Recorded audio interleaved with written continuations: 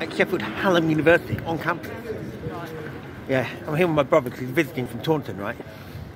Thing is, right? He says to me, "Oh, but can, can we go to the cinema?" I'm like, "What? What? I mean, there's a film I really want to watch, Ant Man or something like that." Like, what? Don't they have film? Don't they have cinemas in Taunton? He's like, "No, but I really want to watch it with you, even though he doesn't, even though he knows I don't want to watch it." And I said to him, "Do I have to watch it?" He said, "Yes." So I've got to watch it. It's like, like, what's the point? Why do we need to watch it together? It's like, what's that about? Yeah. Number one. Number two. Look, we're going for the two o'clock th- Thursday afternoon screening. Okay. Right. It's going to be nobody there.